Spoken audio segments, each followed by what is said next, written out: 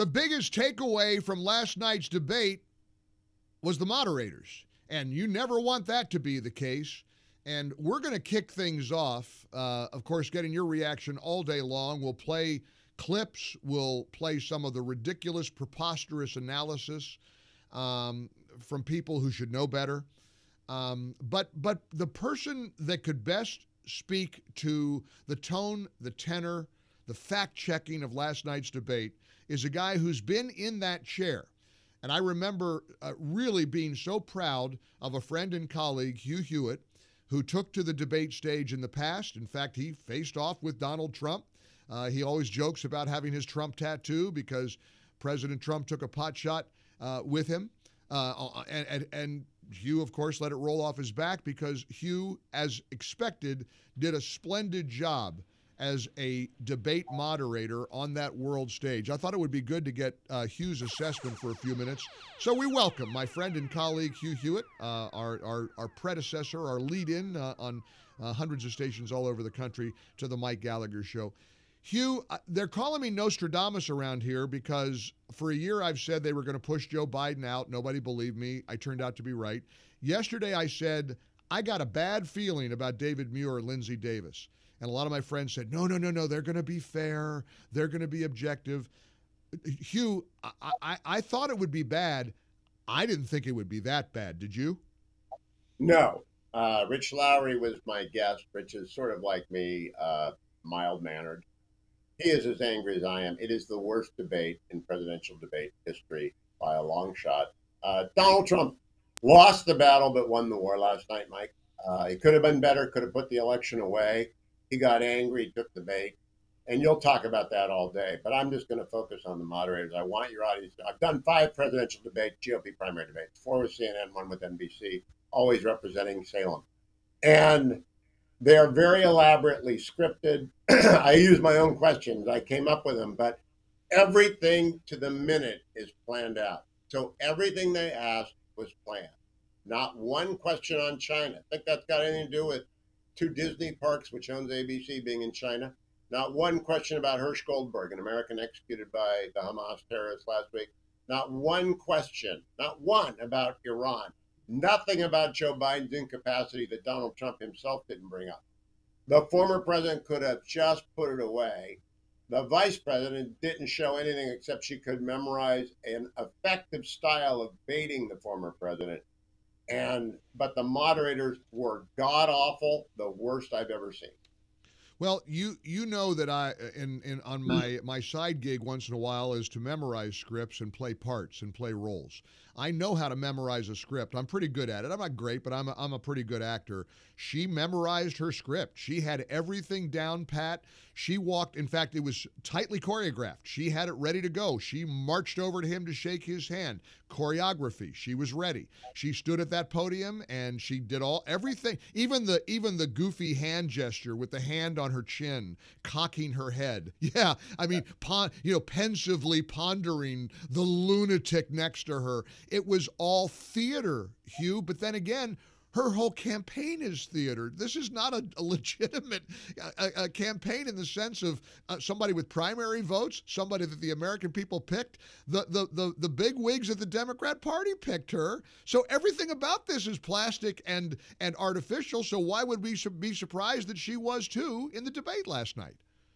Uh, but Donald Trump did not memorize his and right. uh, it's because he's done more debates than any person in history. He has great confidence in himself. I thought he would do better than this.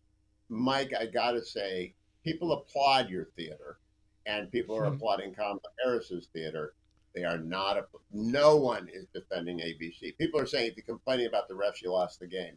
Doesn't matter. Refs are still bad. Some refs get fired. I don't think they're going to fire Muir or Linsey Davis because they can't admit what they did. But my goodness, if they had any center right people, if they had any conservatives left, they're done with ABC. They're done. Oh, sure. Done, done, done, done.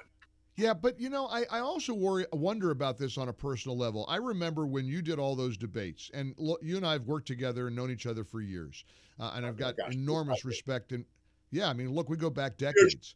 And, and, We're buddies. I, I, People should know that. we We're are. friends. We, we we kid each other all the time, but we are friends. And I hurt for you when you would get criticized by anybody because you are my friend, and you did us proud. Incidentally, did an unbelievably fair job and a, a, a great job in those debates. D- does that criticism? You say it won't get to David Muir or Linsey Davis or the or the honchos at ABC. Do you really think they're not aware? Of the way much of the world is reacting to the biased job that, that they did last night? Now, Mike, this is this is important because there aren't any conservatives in the room. I, I don't think there was one conservative in the debate prep room. No one was a canary in the coal mine for them to say, "You can't do that. You can't do that. Aren't you going to do this? You cannot. You'll lose whatever conservative. You you'll never get any purchase back on the right." I, there are usually between thirty and fifty people involved in every debate session. Thirty to fifty. Right. Maybe they got it down to twenty. None of them are pro-life.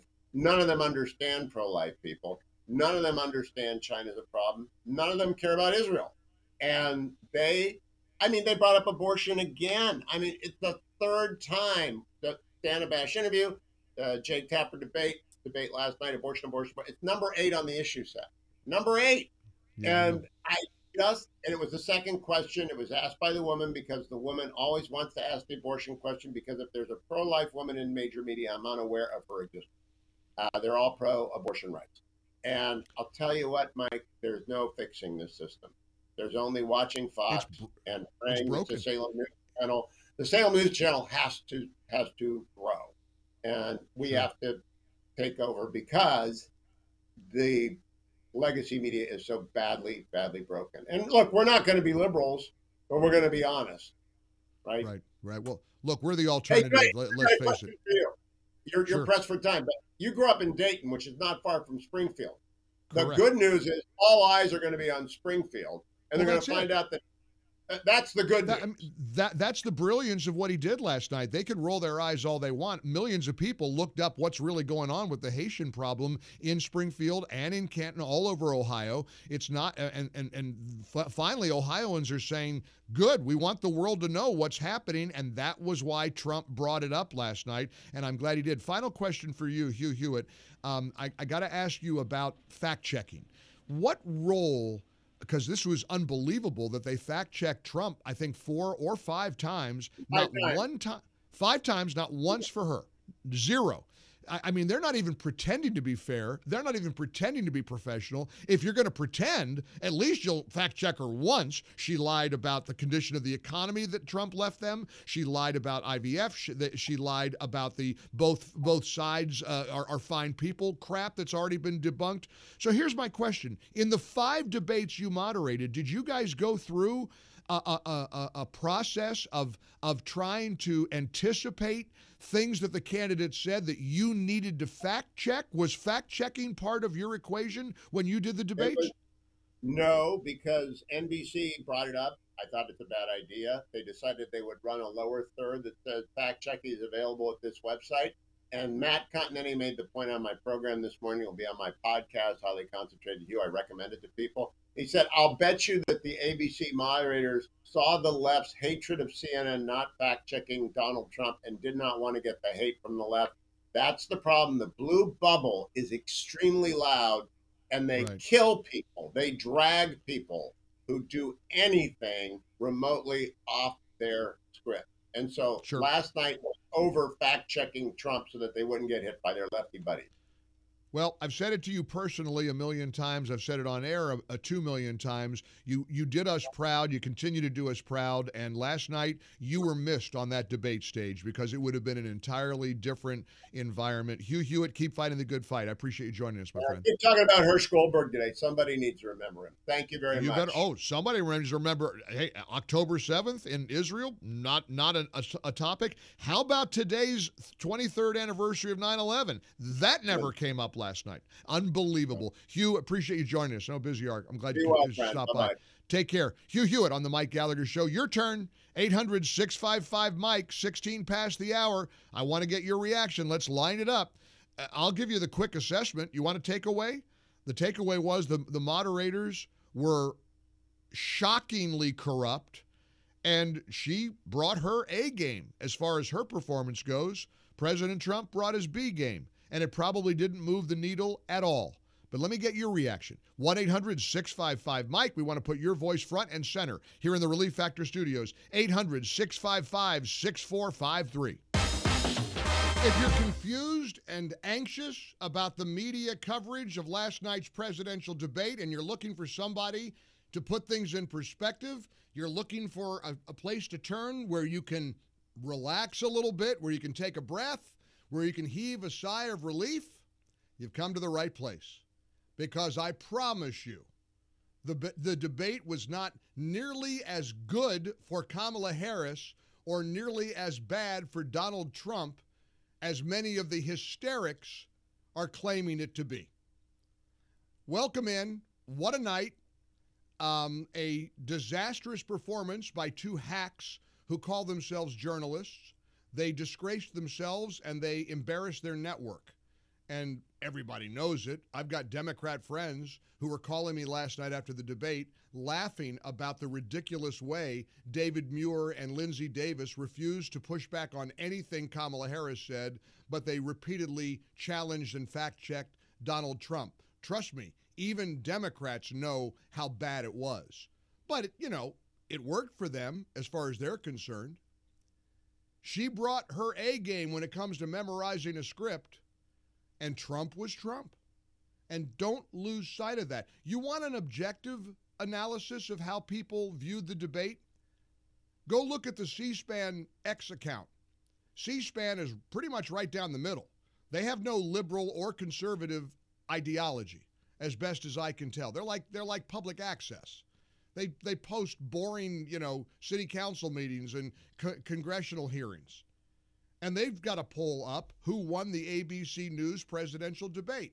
You want to know what it says right now on the poll? 75.4% believe Donald Trump won. Only 24.6% think Kamala won. Trump did just fine. And if you're thinking that the whole election just went down the tubes, believe me, you're delusional.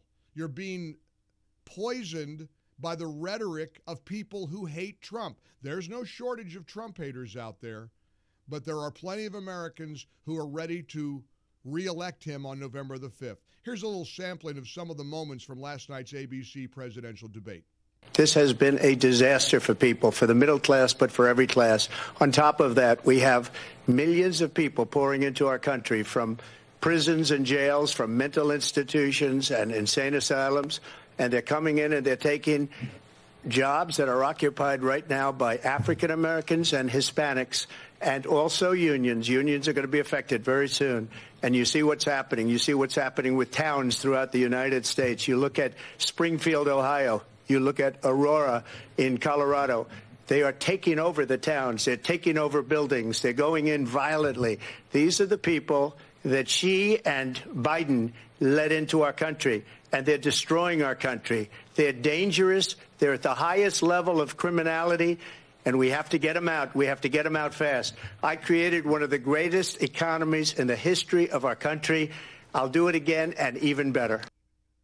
You know, they had a split screen for the first part of the debate, and they show her rolling her eyes and making funny faces and pretending to put her hand on her chin like she's pondering what he's saying. And again, Trump was Trump. You know how we all said we hoped he presented her with a MAGA hat? Well, he, he, he clearly thought about it. Everything that she believed three years ago and four years ago is out the window. She's going to my philosophy now. In fact, I was going to send her a MAGA hat. She's gone to my philosophy. But if she ever got elected, she'd change it. And it will be the end of our country. She's a Marxist. Everybody knows she's a Marxist. And ultimately, one of the funniest moments was when he pointed out how she's just copied and pasted many of Biden's policies. There's no uniqueness, there's no change. She's been the vice president for three and a half years. She's part of the problem. He pointed that out last night pretty brilliantly. She doesn't have a plan. She copied Biden's plan, and it's like four sentences like run, spot, run four sentences that are just, oh, we'll try and lower taxes. She doesn't have a plan. Take a look at her plan. She doesn't have a plan. And finally, the most brilliant moment of the night. Millions and millions of Americans are totally clueless about the crisis of Haitian migrants in Ohio because the mainstream media doesn't dare touch it eh, because they know it's Kamala Harris's fault. She has she's on record as bragging and boasting about welcoming Haitian migrants to America. And I was praying he would bring this up last night so that the, the, the America that doesn't know this, that this is even a problem outside of Springfield or Canton, Ohio, would know about it. Well, they know about it now. In Springfield, they're eating the dogs, the people that came in. They're eating the cats. They're eating, they're eating the pets of the people that live there. And this is what's happening in our country. Incidentally, she was trying to cackle, but her mic was turned off, so you couldn't hear it. You're kind of off in the distance. Look, um, it's fair to say that she did a good job in memorizing her lines. She had everything choreographed up to the handshake at the beginning. She was she was loaded and ready for bear. Trump was Trump. He doesn't memorize anything. He speaks from the heart. As I've said all along, the American people are going to decide this election based on the authenticity of one of these candidates. And the world knows she doesn't have an authentic bone in her body. The world knows he doesn't have to memorize anything. And frankly, most people know that he did just fine. You want to grade the debate? She brought her A game, he brought his B game. The only missed opportunity I thought was when he could have said to Linsey Davis and David Muir, just what the heck are you two doing here tonight?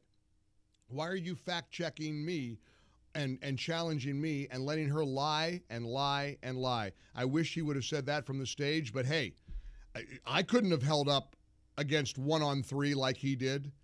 In fact, I wouldn't. How many of us could withstand everything that this man is being put through? They tried to kill him, literally. They're trying to put him in prison, literally. They're trying to bankrupt him, literally. So a little debate that has two biased journalists uh, rooting against him, it's child's play for this guy. He did just fine. Welcome in 800 655 Mike. Give me your reaction. I want to get as many calls as we can because I want to get Americans' reaction, like I did last night at the Studio Movie Grill. We had a sold out theater. We had a great time. Uh, it was it was really an experience to hear a crowd in a movie theater reacting in real time to what we witnessed on that debate stage last night. So we'll tackle all that with you, you and me together. 800 655 Mike. Give me your take here in the Relief Factor studios. Your voice, your call, your perspective. Coming up, wait till you hear Megyn Kelly's takeaway on ABC's performance last night. Who boy, gonna play that for you here in a couple of minutes. Welcome in. Lines are jammed. Let's get your reaction to uh, to last night's debate. 800-655 Mike. I want you to be honest and give me your feelings. I may we may not agree because I don't think it moved the needle at all. Like I said, Kamala Harris was scripted, was rehearsed. She did what she felt she needed to do as as Hugh pointed out, she had her lines memorized. Trump doesn't need to memorize any lines. And I really caution you not to overreact. Here's a text message from Texas that I want to share with you. As a Trump supporter, I'm always I'm by the way, I'm always leery when somebody tells me what a big Trump supporter they are and then they drop the hammer. So here's what Texas tweets me. 832 area code. I don't know where 83. Where's 832? 832 area code texts. As a Trump supporter, I was sick during and after the debate. Trump blew it.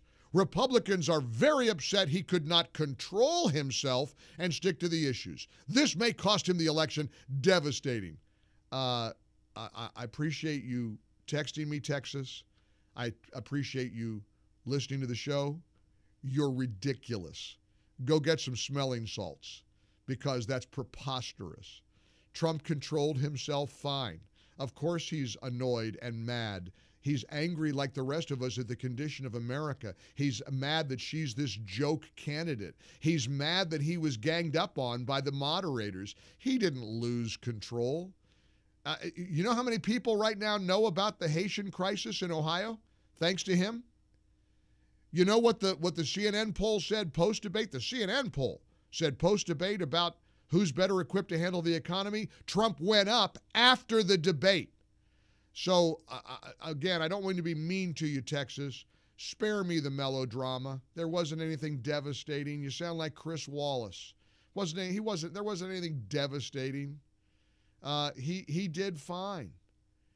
I, I, from my perspective, there was one missed opportunity, just one. And I think it comes from being on that stage, having it come at you from all sides. I wished he would have said at one point late in the night, turned to David Muir and Linsey Davis and said, just what the heck are you two doing? You have now fact checked me five times, and you're not going to bother to fact check any of her lies? I wished he would have just done that. Um, but, you know, the world's doing it now. Certainly Megyn Kelly's doing it now. Check out what she said on her podcast. I'm disgusted. I'm disgusted. I'm ashamed of those moderators at ABC News. They did exactly what their bosses wanted them to do. The person who runs ABC News is a close personal friend of Kamala Harris that is responsible for Kamala Harris and her husband meeting. And they did Dana Walden's bidding tonight. It was three against one on that debate stage this evening. Hi, everyone. I'm Megyn Kelly, a special program tonight for you reacting to the debate. It was three against one. It's very easy to look like you know what you're doing when both moderators are entirely on your side. Trump did the best he could under the circumstances, but it really was like three fighters in the ring pummeling one opponent. There was an internet rumor last night that she was wearing an earpiece in her earrings, that her earrings were actually well disguised earpieces. There's a time in my life when I would when I would have rolled my eyes at that and said, "Oh, come on, that's crazy talk." Nothing would surprise me right now. Nothing would surprise me. To watch those two journalistic frauds fact check Trump and challenge him over and over again and not push back against her one single time, hey, Trump is used to the deck being stacked against him. They want to put him in jail. So a couple of hostile interviewers shouldn't derail him in any way, shape, or form. Of course, now the big question is does he do another one on CBS? Get ready, we're tackling all of it. I promise. Your voice, your call, your perspective is next. I've talked enough. It's your turn. You have my word. Call after call at 800 655 Mike coming up.